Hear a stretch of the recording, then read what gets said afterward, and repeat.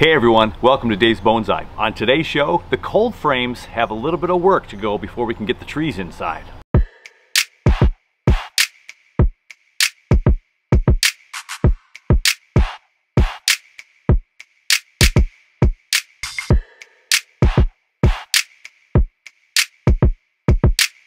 Another stunning fall day in Minnesota. You really can't beat the fall colors with the bright sun. The leaves have been changing for weeks.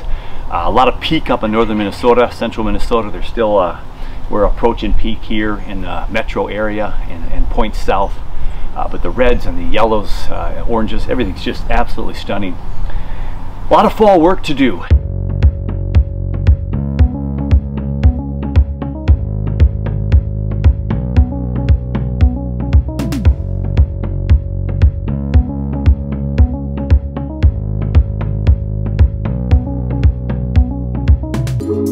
Got the cold frames. We're going to do some uh, sanitization of those in a little bit. Um, but I have gotten a head start on where all the trees will be outside in the garden.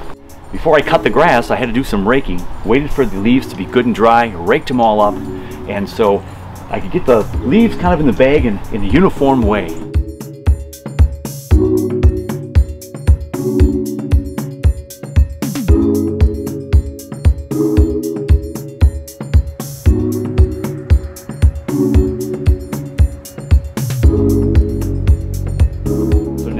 I'm going to have this nice protective barrier uh, between the wind from the west and uh, the trees that remain outside all winter. I've got my lilac tree already in here, a couple of my lilac trees. I've got uh, the tomato bush that's still back in there. Um, and the back bench, some of those trees will move then off of the bench and we'll get them down into the ground. So the big key with uh, Minnesota winters, even if these are Minnesota hardy trees, we're always keeping in mind the size of the pot, uh, the hardiness of the plant, and we want to get it off the ground. So everything will come off the benches and go low to the ground and we'll heel them in a little bit with some mulch and or some leaves. I have plenty of leaves still that will be falling from some of the trees and we'll make sure they're all nice and cozy. I will put a lot of uh, wood on the bottom, just some 2x4s and 2x6s on blocks to get them off the actual ground just a little bit. So in the springtime, I can get them off just a little bit easier. They seem to come up a little bit uh, quicker. So a little tip if you want to move your uh, trees around earlier in the spring from the frozen ground, I do like putting them on little uh, blocks of wood. So this is just going to sit here for a little while because it's not going to be that cold quite yet. We've got temps into the mid 50s right through uh, Halloween, which will be very nice for the trick-or-treaters this year. Um, so this is going to stay for a while. The trees are going to stay on the bench for a while, but we have to get those cold frames. I want to make sure those are ready to go for when we need to bring them in. Because the last thing you want to do is to have all of a sudden this big old cold spell and you need to get all your trees in, you know, doing the bonsai shuffle, in, out, in, out. We want to make sure that those cold frames are ready. So I have to sanitize them. I have to hook up some lights, check the heaters, plug in everything, make sure things are ready to go. So we have the cabin cold frame, we have the garage cold frame. Now in the cabin, we've got that one pretty set up. But we're gonna bring the heater out here. We're gonna first though, sanitize. So let's get some bleach and some warm water and let's do some cleaning. I just brought out the windows and the door yesterday for the cabin cold frame, so it is ready to go at a moment's notice. The windows are in and the door off to the side there. We only have a few plants still uh, sitting on the porch, and um, we're going to go ahead and get this cleaned on the inside, but the doors and everything's ready to go. So let's get that bucket of water inside the cabin and do some cleaning. I've already swept out the cabin, so it's good to go to give it a good little wipe down. So I just got some uh, basic bleach and some warm water so my hands don't freeze, and we're just gonna go ahead and do a little uh, disinfecting. So we wanna make sure that the uh, cold frame walls are good and clean. We don't have any leftover, uh, possibly mold or mildew, things on the wall that won't agree with our plants. So we're giving it a good clean. These walls were stained a little bit so they don't soak up a ton of water. It's good for watering the trees in the uh, in the winter months here. Move my portable stand here and we'll get these walls good and clean.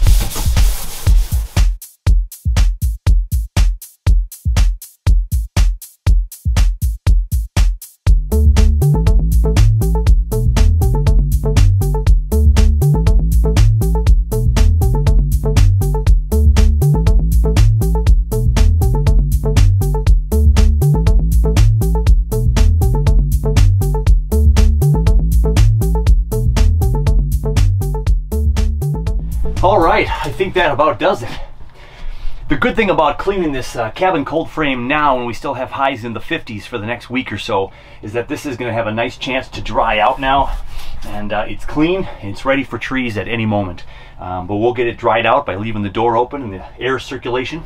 We've got the fan up above me over to the right. I've got the heat, uh, the uh, electrical source coming in and last year during the polar vortex, the two week spell we had with really cold weather, I had some intermittent electricity coming out here in one day I lost power for a day. So we're going to double check our power today as well. Uh, so we make sure that that's all in good shape. So new connectors, maybe a new, uh, I got a power cord that goes from one to three.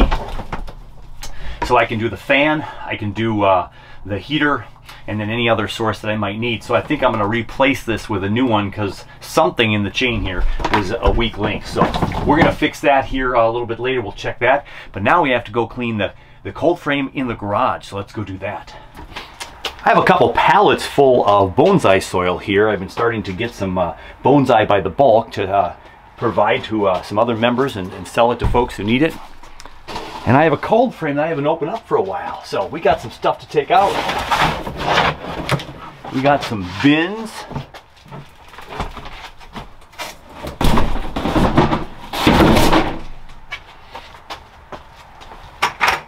We've got some buckets. Down below we have all our heaters. We do have one clip-on light still down here with a light bulb in there and I bought two more lights so I'm ready to uh, plug in some lights and uh, set this thing up so we have some light in here. This cold frame has never had light before and this year I'm going to experiment and put a little light in here. Um, I, am a little nervous because I fear the risk of having some light in here is in the springtime things are going to want to grow uh, faster um, and with it not being the sunlight and just being a couple of artificial full spectrum bulbs, I'm afraid that we're gonna have longer, leggier growth. Um, but I'm gonna, I'm gonna test it. Um, all the trees in Minnesota, as much as they go dormant, they're outside with the sun still, uh, you know, eight plus hours a day, right? I mean, indirect sun, the sun is low. Um, so some light might be better than no light. So the jury's still out on that. There's a lot of uh, back and forth discussions about that. So we have one of my fun lights that I believe is not working anymore. We'll plug it in and see. I've got one of the fans up here in the corner up here, and I've got a fan down in the corner down there, and so that's going to keep the air circulating. And so we're going to find ways to plug all these in, but the first step is I want to give one quick little wash to the walls. Now I have a lot of the purpley pink stuff here, the insulation that's exposed in most of this cold frame. So that's brand new, never been used before.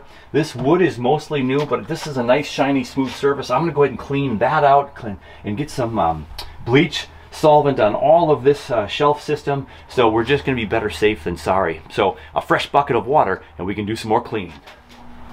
Everything is out that needs to be out.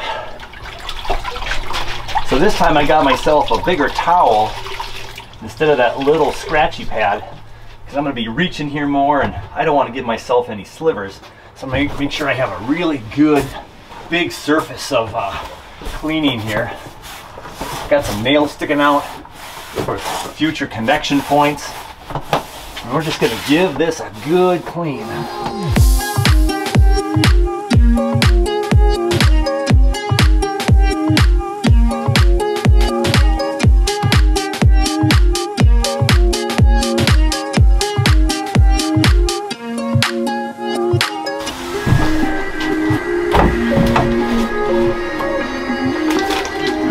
Okay, I think we're in good shape. This was uh, a repurposed cold frame. I recycled some of the wood, so we got some of that good and clean now. And we gave it a good wipe down. So this cold frame is ready for trees. But now we're gonna try to set up some light contraptions here and make sure the heat's working. So when we get the trees in here and we get those cold temperatures, it's gonna be able to turn on and keep this thing plenty warm. Right now with the insulation and the, it, and the fact that it's in the garage, probably would keep this thing pretty warm for uh, several weeks yet without even turning any heat on. But uh, we're gonna plug some things in and play a little bit, and see what we got going on. I'm gonna hook up the two fans and two lights and see if I can get those going. So I, I'm pretty fond of just using the uh, these kind of par cans, reflector cans. So I go ahead and get those super cheap at your big box store. And then I'm usually buying the grow light. So this is the uh, uh, Feit Electric grow light, um, full spectrum grow light. It's a flood flood bulb. So when that's in there and the light's reflecting off, we're gonna get hopefully a little bit more spread. So I'm gonna hang these up in the corners. Got one back behind me over to the right. We got one over here on the left. We've got our power source. Now, anytime I put lights on um, in my cold frames or the fans, they're gonna be on a timer. So you have to make sure you buy timers. So I do have myself some timers and we're gonna set those up as well. Now, because the cold frame is built into the wall now, I uh, put this thing into the wall. I've got two outlets in the cold frame that we're gonna cover with some tarp, I think. We're just gonna go easy and cover with tarp so I don't get water on there. But what I need to do is have a good outlet. So a lot of times your um, timers, this is just the push pin style, have a great big chunky feel to it. If you put it on the wall, well I've got all this uh, pink purple stuff insulation that's real thick and so this won't even fit in there. So I have a real nice thick sturdy um, extension cord that allows the three prong and the three prong. So now I have power. And so that's going to be good. I can put this anywhere I want to. I can hang this up with uh, some little hooks and be good to go. I'm to turn it on for right now. So when I plug these power uh, cords in, I can have light. What's nice about um, this particular um, timer is it has the three prong in there as well and one on both sides. So it serves double duty. So in this case, I'm going to hook up this light and there it goes.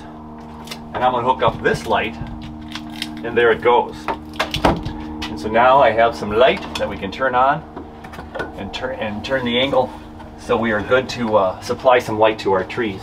We're gonna adjust these and put them in the wall so they're more permanent in a permanent spot, but right now we can already see that we've got some light on there. Problem is we got some dangling cords here, but I can bring this cord here now through up this spot right here and I can attach these cables up against the wall up here.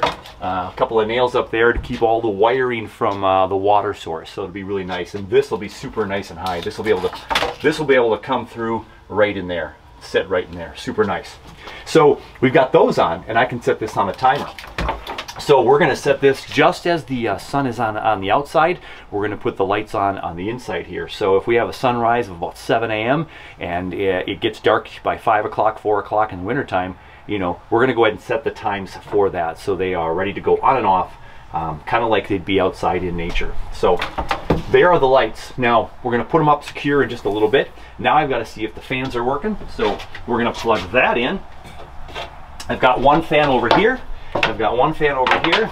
And I've got my other timer. So let's go ahead and rip that out of the box. And we'll uh, get those fans spinning too.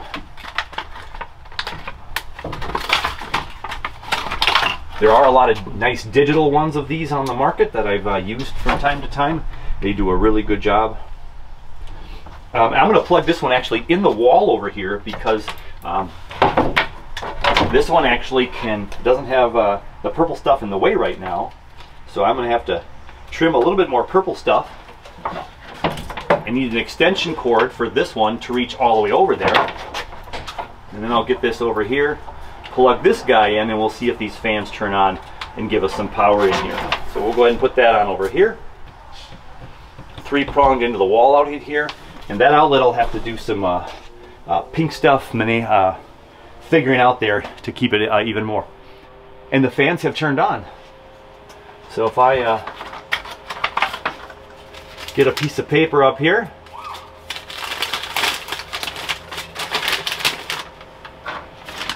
See if that'll show you the fan blowing. A little bit. There it's going, a little bit. There, the fans are working. How about down here? Yep, I can feel it. It's kind of cool air right now. So the fans are on and the lights are on. We have plenty of outlets. So the last thing we have to do is plug in the heat source. So let's get our heaters plugged in.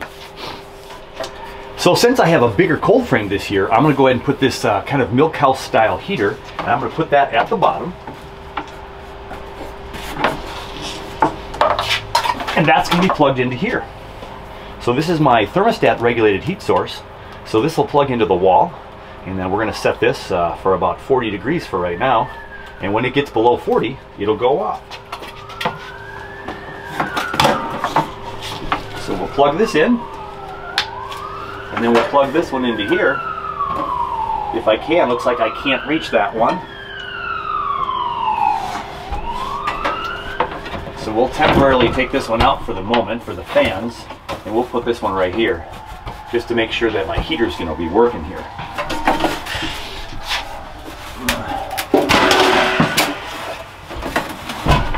So we're gonna put it at the bottom, but we'll put it up here for right now, just to do a little test run here.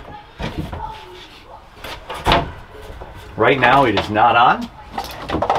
Whoop. So let us go ahead and make it turn on when it's like 60 degrees or less and see what happens.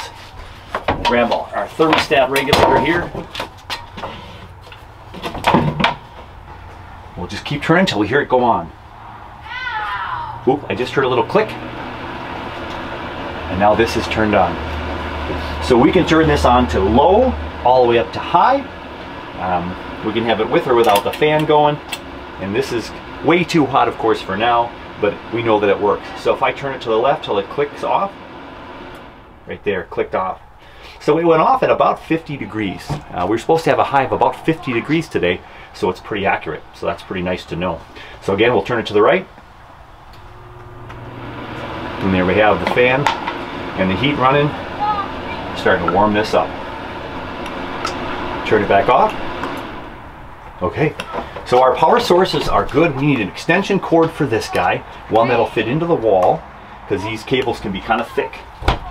So as you can see, the thermostat regulator plug is super big and chunky, and you can only go straight down with it, so nothing can be plugged in below it. And you plug in your heat source, and you're good to go. But this might need to have a small little adapter so we can make it stick out of the wall a little more, so we can plug in all the other things that we need to plug in.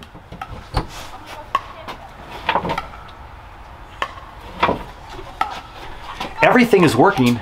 Now we just have to set it up into its final configuration and then um, make sure all the cables are out of the way and we'll see if it all works again. So let's, uh, let's do that.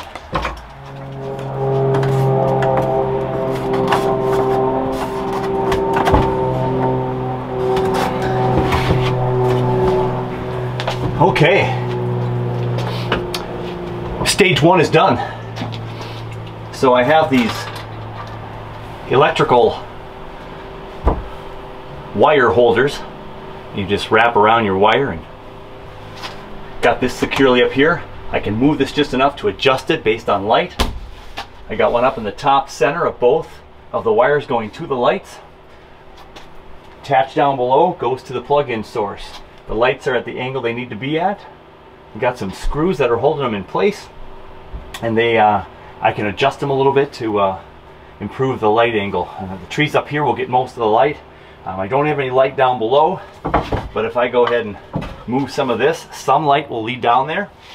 That's more than I've ever had before. I might add a third light that's at this level right here for anything down below. I have some big space over here on the right. That'll probably be where that um, my uh, new spruce tree will go into there. Might have to take this shelf out, make that whole tall space for the spruce, and then probably those uh, two pots of the um, larch and spruce that I gathered that I don't want to keep frozen this year. I want to keep them here in the cold frame. So I can move this shelf off and have plenty of room for the tall stuff. So the lights are in place, the fans are still running, but now I'm going to make sure that those cords are not just dangling around where they're gonna get all full of water. So let's see what's gonna happen with that.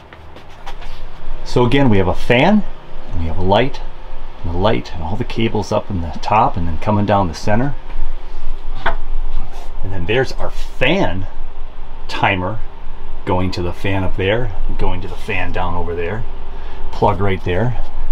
I've got the extension cord looped up around behind the fan, some extra on the floor there, so I'll get a three footer instead of a six footer. And then there's the outlet for the big uh, heater. So the big trees will go here, so all the uh, stuff that I'm watering will be down below, so I won't get that all wet. I'll put a little bit of um, uh, tarp over that though to protect it and some tarp over there.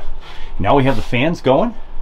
The heat is ready to go off when it gets to the low enough temperature and the lights are on right now. Of course, I'll turn that, those off for the first couple of weeks here because we won't, we won't have plants in here for a good couple of weeks. The garage cold frame is ready for plants. I'm back in the cabin cold frame and I've changed up my power source. So I had a three-way on here before that just didn't seem to have a tight connection to my main source. And what's nice about this three-way is it has a light in here. So this light indicator tells me that I've got power, which is really super nice. And then I can turn in my, plug in my other items and make sure we are all set and good to go. So I have another thermostat regulated power source here. I get these at uh, Menards is where I purchase them. And so it's plugged into my heater. I got a little porcelain heater down here that turns off if it's tipped over and I got uh, different high levels on here. So we're gonna turn this up and see if it clicks on. Turned on about 50 degrees again. And I've got power here. It's all, all the way, it's on high. And it's blowing out heat. So I turn it back off. Just a little slight little click there. We'll do it again. Turn it back on at about 50 degrees. So we're going to turn it back now to about uh, freezing, 30, 32 degrees. We're going to put it on the wall for right now. And, and that's, that's ready to go. Some dangling cords here. So again, we're going to have to finagle where these cords go. I've got some uh, uh, screws up in the wall from what we did last year. And we also have to plug in some power source for the pond. So, and the fan. So this plug is going to be plugged in, and this will be a live feed out to the pond, where I'm going to have um, another two or three way, and I'm going to have a de-icer out there in the pond for this year for the fish, and also a bubbler to keep some oxygen down there a little bit uh, for the fish, as it'll freeze uh, mostly about halfway down to the bottom of the um, pond. The bubbler will keep it from freezing solid uh, for sure. Um, so we have that for that. So that goes back out of the uh, cabin cold frame here, heads out towards the ponds. And then I have one more outlet, and that's for this guy right here, the fan, which is sitting up top here. And this will go on a timer. So I need to find my other timers, and I have to get an extension cord. And so let's just see if it's working right now. We'll just plug it in. It should be working right now. There's a timer right here. So let's go ahead and see if I can put that on here. I can't because it's too wide because of this. So I'll have to just test it. That's the problem with some of these um, three ways and these great big super nice uh, systems we have here uh, for timers, but sometimes they're super wide and chunky, so we have to put them in another adapter. The fan kicked in. Yeah, it's working. So we're going to get an extension cord that I can plug this into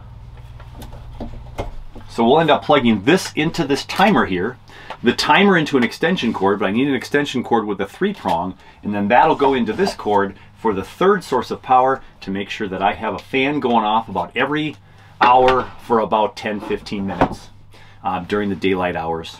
Um, you know, a couple times an hour. And so there is the power sources.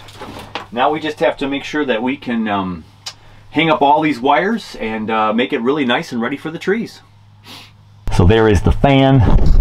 And when that's powered up, it's gonna just uh, rotate the air below some of the warm air from the top, circulate it around the cabin, and we're good to go. Now we have a close up here on the power source. That's the regulated power source, so it's 32, it's gonna click on. We've got that little indicator light now that's gonna show that that one's gonna be uh, good to go, hopefully all winter with no polar vortex issues. Can take care of all these cables, make it all nice and organized. Well, I think that should do it for the cold frames today. The cabin cold frame has been swept, it's been uh, disinfected, and uh, we got the power source connected. Uh, make sure that we got good power there so everything's ready to hook up there. And the garage cold frame looking pretty nice. I'm super excited about uh, seeing trees in there. A little extra room. I'm sure I'm, I'm gonna fill it up quite easily. One thing I do have to get for the garage cold frame though is some boot trays. We don't want the water spilling all over the place. So gonna go out and get some uh, boot trays today or tomorrow or maybe just order them online and have them delivered. We'll see. It's a beautiful day. The sun is still out awesome, awesome, beautiful color right now. So my stepson and I are gonna go for a walk and we're gonna bring the camera and maybe get some really good fall pictures that we can put in the next video. We'll see. So we're gonna go take a walk. Thanks for watching. Thanks for tuning in and as always keep the comments coming and uh, like if you can or subscribe if you haven't and uh, we'll see you very very soon. Take care of you, take care of your bonsai and we'll catch you on the next one.